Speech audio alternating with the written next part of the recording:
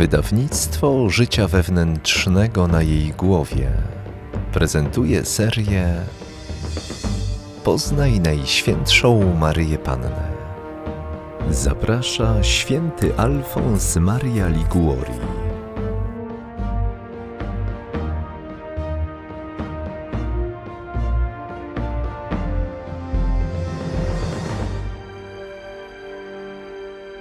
O narodzeniu Maryi Panny. W imię Ojca i Syna i Ducha Świętego. Amen. Wielbię, o Panie, Twój nieskończony majestat i pokornie proszę Cię o łaskę, aby to rozmyślanie, które rozpoczynam, uświęciło moją duszę oraz wydało we mnie owoce na Twoją cześć i chwałę. Panno Święta, Aniele Stróżu, moi święci patronowie, módlcie się i wstawiajcie się za mną. Amen. Przejdźmy teraz do drugiej uwagi i przypatrzmy się, z jak wielką wiernością Maryja niezwłocznie odpowiedziała odebranym łaskom. Nie jest to mniemaniem tego lubowego pisarza kościelnego, lecz według słusznej uwagi jednego z najbardziej uczonych ojców, Claudiusza de la Colombière, zdaniem powszechnie przyjętym, że Maryja, otrzymując w łonie swej matki łaskę uświęcającą, otrzymała i pełność rozumu wraz ze szczególnym oświeceniem niebieskim, odpowiadającym łasce, którą była ubogacona. Od chwili więc, w której jej prześliczna dusza złączona została z jej przeczystym ciałem, zlały się na nią wszystkie promienie Bożej mądrości, uzdalniając ją do dokładnego poznania prawdy wiecznych, do doskonałego oceniania, czym jest każda cnota, a zwłaszcza do jak tylko być może najżywszego pojęcia, jaka jest dobroć Boga jakie stąd ma On prawo do naszej miłości, a głównie do jej serca, z powodu darów nieocenionych, którymi ją przyozdobił i wyniósł nad wszystkie stworzenia, zachowując od zmazy grzechu pierworodnego i obdarzając łaską niezmierną i przeznaczając ją na matkę słowa przedwiecznego i królową nieba i ziemi. To też Maryja, przejęta wdzięcznością względem Stwórcy swego, wnet zaczęła, nie tracąc ani chwili czasu, nabywać zasługi, jakie tylko ona nabyć mogła, nie pozostawiając odłogiem tego ogromnego zasobu łask, jaki jej powierzony został rozpływając się w uczuciach miłości Boga i świętej rządzy przypodobania się mu jak najbardziej. Od pierwszej chwili umiłowała go z całej siły, wciąż ponawiając akty miłości przez dziewięć miesięcy poprzedzających jej narodzenie, usiłując przez nie coraz ściślej jednoczyć się z Bogiem ponieważ nie miała na sobie skazy grzechu pierworodnego, więc już przez to samo obca dla niej była wszelka skłonność ziemska, wszelkie ziemskie upodobanie, wszelka zdrożna podnieta, wszelkie rozerwanie myśli, wszelki opór zmysłów, mogące stawić przeszkody w coraz wyższym jej postępie w miłości Boga Wszystkie jej zmysły współdziałały ku wznoszeniu jej duszy do Stwórcy. I tak przecudna jej dusza, wolna od wszelkich przeszkód, nie ustając ani na chwilę, wciąż ulatywała do Boga, wciąż go miłowała i wciąż w uczuciu tej miłości nabierała wzrostu. Dlatego to Przenajświętsza Panna sama porównała się do jaworu bujnie rosnącego nad brzegiem rzeki. Jako jawor wyniesiona jestem nad wodą.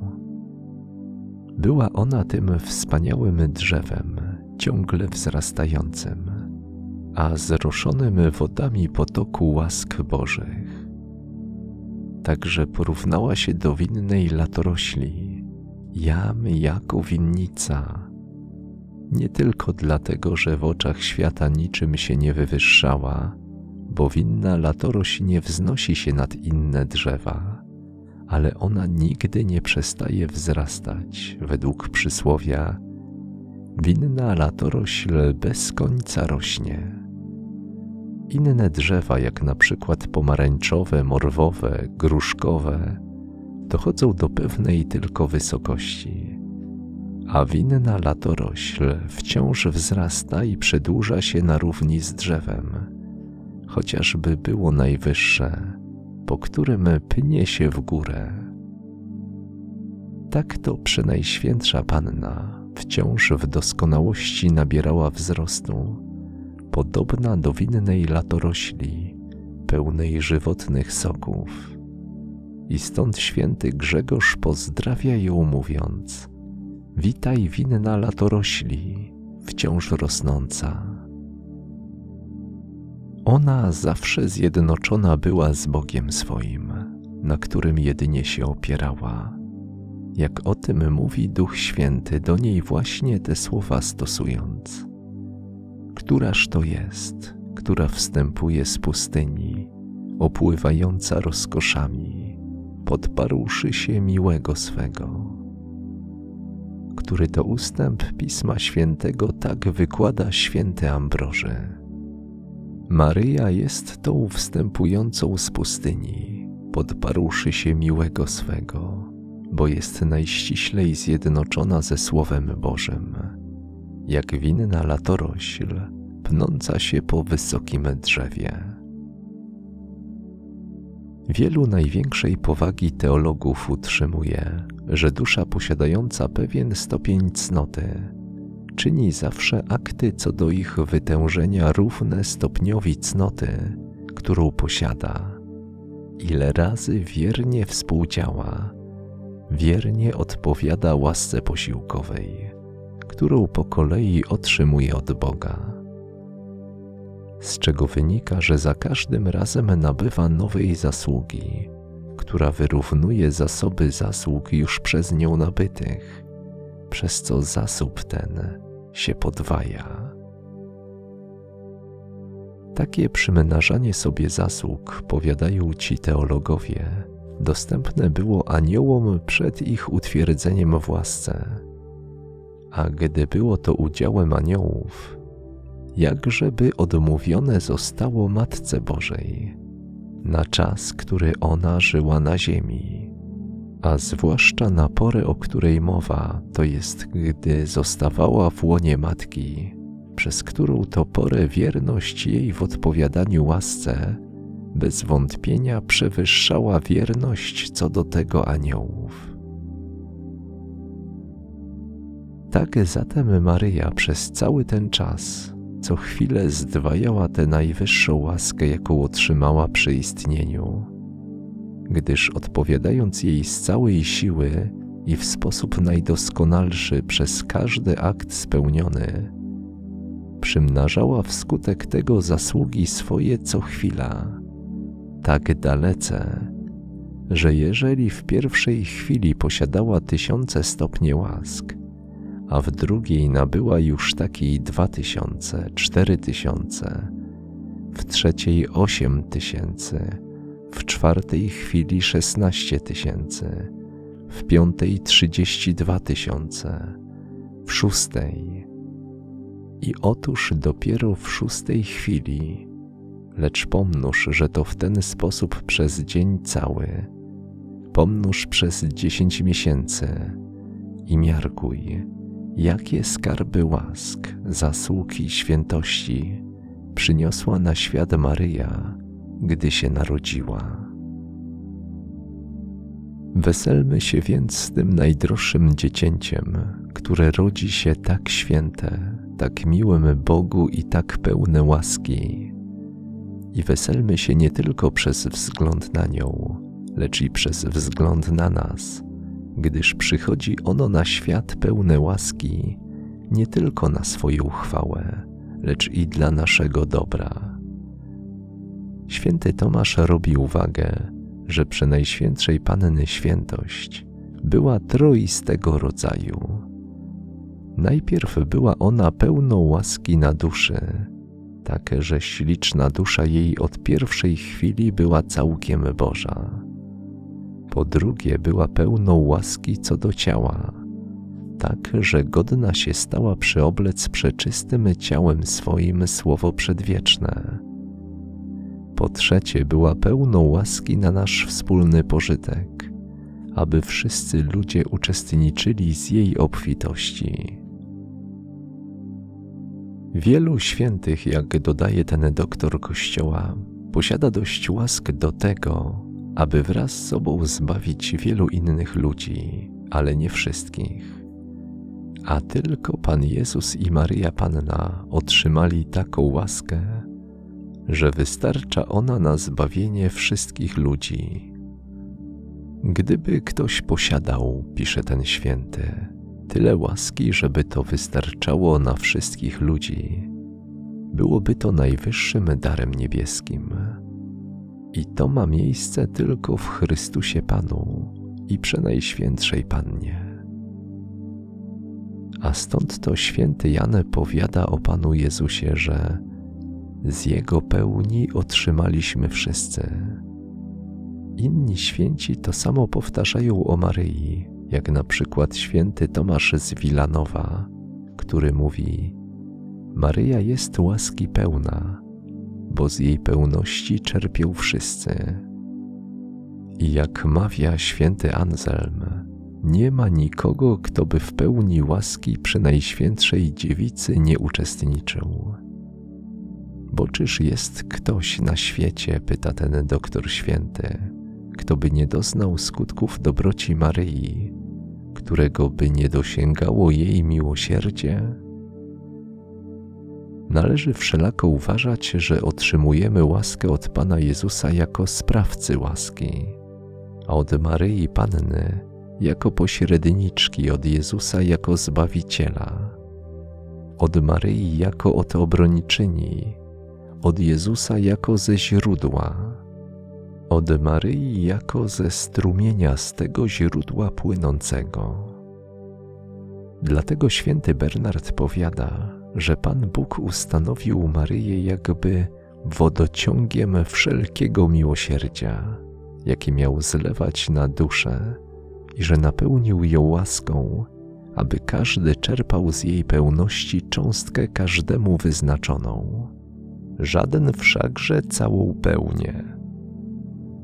Z tego wychodząc, zwraca on naszą uwagę, jak dalece chce Pan Bóg, abyśmy z tak największą miłością czcili tę przenajświętszą dziewicę, kiedy oto zamknął w niej wszystkie skarby dobroci swojej ku nam, abyśmy przejęci byli wdzięcznością dla tej najdroższej i najmiłościwszej Pani naszej za te wszystkie łaski i samozbawienie, których, jak to widzimy, dostępujemy nie inaczej, jak za jej pośrednictwem i przez jej błogosławione ręce.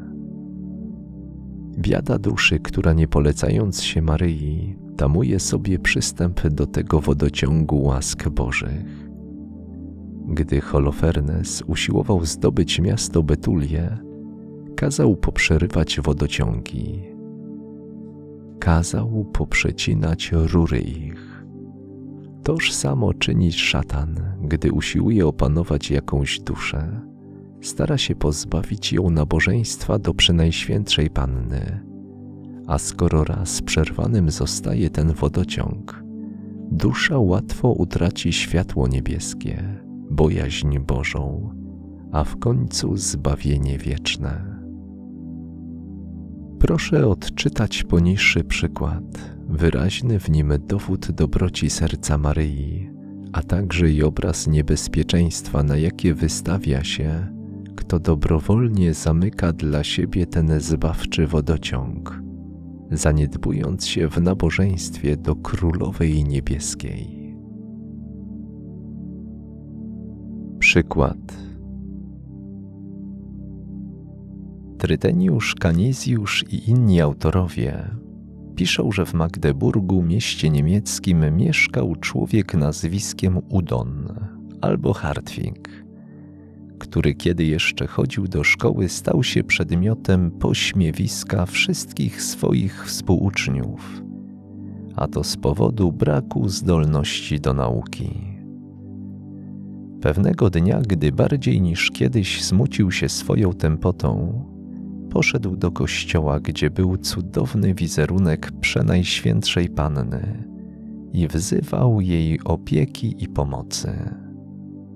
Maryja ukazała mu się we śnie i rzekła: Udonie, pragnę cię pocieszyć i wyjednam ci u Boga nie tylko takie zdolności, żeby się już z ciebie nie naśmiewano, ale nawet taką łatwość do nauki, że się wszyscy dziwić będą. A prócz tego zapowiadam ci, że po śmierci tutejszego arcybiskupa zostaniesz wybranym na jego miejsce. Cała ta przepowiednia ziściła się. Udon nadzwyczajny uczynił postęp w naukach a po pewnym czasie został arcybiskupem magdeburskim.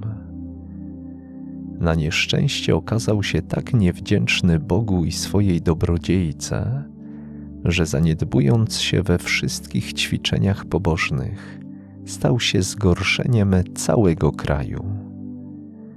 Jednej nocy, gdy się oddawał rozpuście, usłyszał głos mówiący do niego: Udonie, zaprzestań hulanek. Nachulałeś się już dosyta, udonie. Za pierwszym razem rozgniewał się na te słowa, sądząc, że jakiś człowiek w ten sposób go upomina.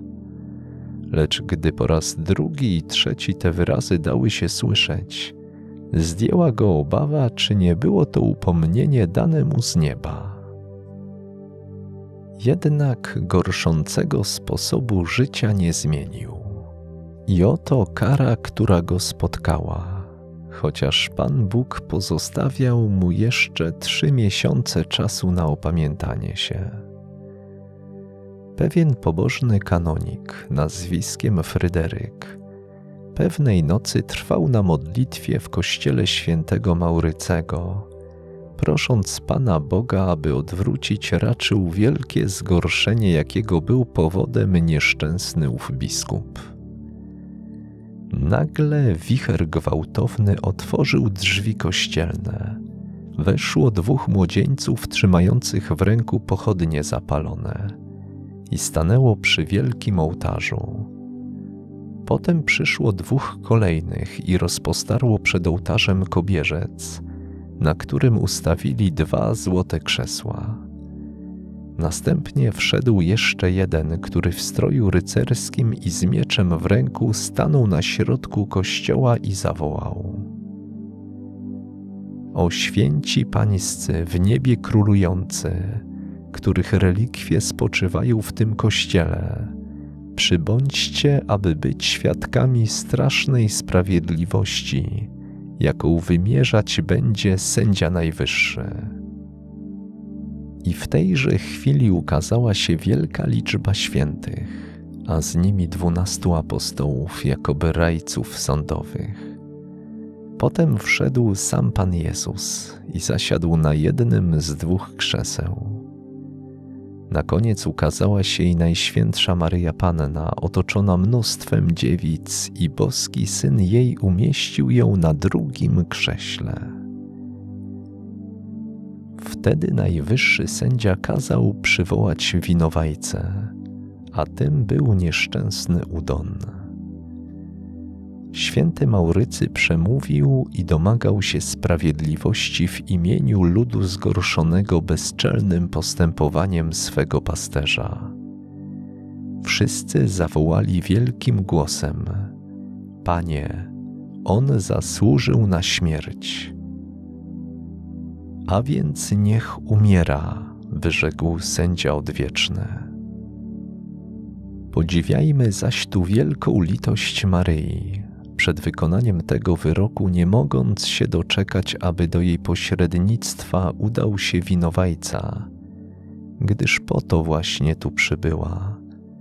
Ta czuła matka, chociaż wszyscy zostali, ona wyszła z kościoła, aby nie być świadkiem spełniania tak strasznej sprawiedliwości Bożej. Potem wykonawca wyroków Najwyższego, który wszedł z mieczem w ręku, zbliżywszy się do Udona, jednym zamachem ściął mu głowę i widzenie znikło.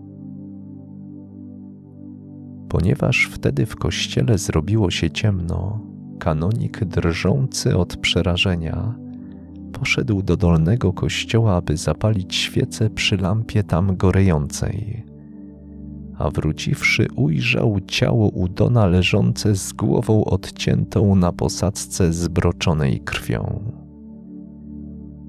Skoro dzień się zrobił, lud zbiegł się do kościoła, a kanonik opowiedział całe widzenie i straszny jego koniec.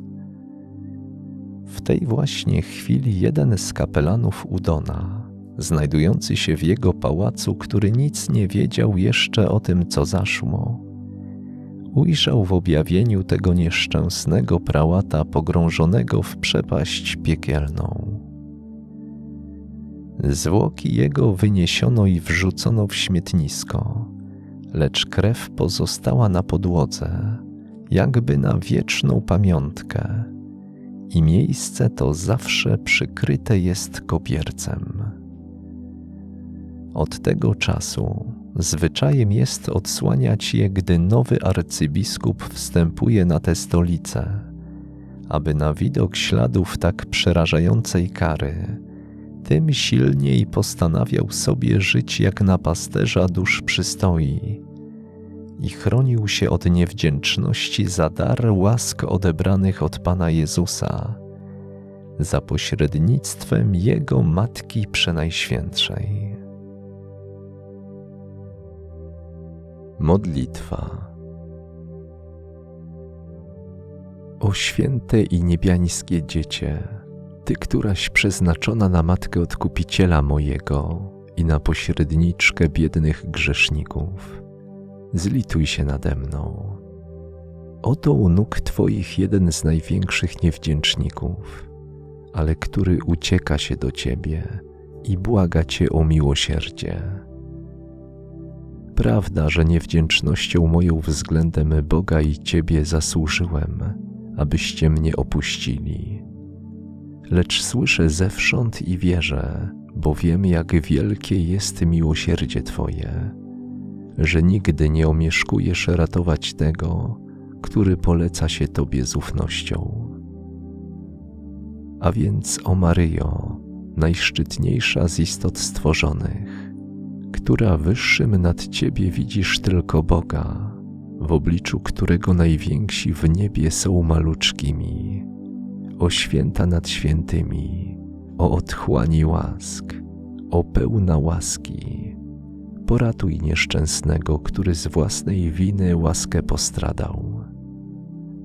Wiem, żeś tak umiłowaną od Boga, że ci On niczego nie odmawia Wiem także, że Ci miło jest używać Twojej potęgi na korzyść biednych grzeszników. O że okazać, jak przemożnym jest przed Bogiem wstawiennictwo Twoje. Weź dla mnie światło Ducha Świętego i płomienie miłości Boga tak silne, aby mnie one zmieniły z grzesznika w świętego i odrywając serce moje od wszelkich upodobań ziemskich, napełniły je uczuciem najżywszej miłości Jezusa. Spraw to, bo dla Ciebie wszystko jest możliwe. O Pani moja, spraw to dla miłości tego Boga, który wyniósł Cię do takiego szczytu, do takiej potęgi i do takiego miłosierdzia tego się spodziewam. Amen. Mój najsłodszy Panie Jezu Chryste, proszę Cię, aby Twoja najświętsza męka stała się dla mnie siłą, która mnie umocni ustrzeże i obroni. Twoje najświętsze rany niech staną się dla mnie pokarmem, który mnie pokrzepi, ogrzeje i rozraduje. Przelanie Twojej krwi niech mnie oczyści ze wszystkich grzechów. Twój krzyż niech będzie moją chwałą. Twoja śmierć niech mi przyniesie życie wieczne. Niech moje serce znajdzie w Twej męce swoją pociechę, radość, miłość i życie. Amen. Prezentowane treści pochodzą z dzieła Glorie di Maria Uwielbienia Maryi. Książkę lub audiobook nabędziesz w księgarni na jej głowie.pl